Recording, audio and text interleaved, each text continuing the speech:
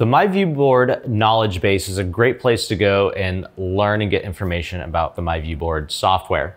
Uh, you can access it a couple ways. One, you can access it through myviewboard.com. If you're signed in, uh, you'll see that one of the tiles is called knowledge base. Uh, you can also just go to myviewboard.com slash KB to access the knowledge base. So what you're gonna see here is that there's different products that we make. So the whiteboard software, classroom, uh, companion app, if you're using MyViewBoard Manager to manage your viewboards. And then each of these will then tell you more information about uh, that piece of software. So if we want to scroll down here, you'll see that there's a getting started section.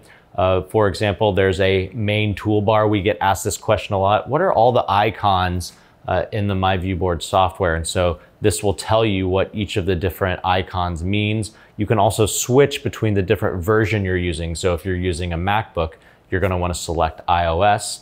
And then if you need to know more, like, hey, what was the magic box again? you can click on that and then it will take you in and give you more information about that specific tool.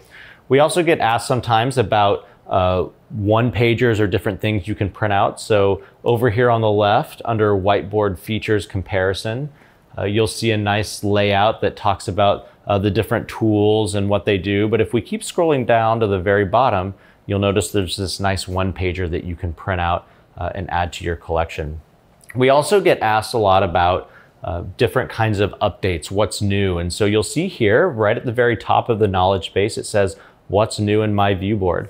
And so this will go through all the different changes uh, month by month. And so just so you know, uh, Manager gets updated every month, but the My MyViewBoard whiteboard software is quarterly, so you won't see as many updates on that one. But it will go through and uh, basically give you pictures of things change. Sometimes they're little GIFs to uh, show you the different improvements or enhancements uh, and essentially videos to help get you caught up. So uh, every month you can come back here to the My MyViewBoard knowledge base and just see what's uh, been updated. So if you're not using the knowledge base to learn more about the MyViewBoard software and the various products, uh, definitely jump on board with that.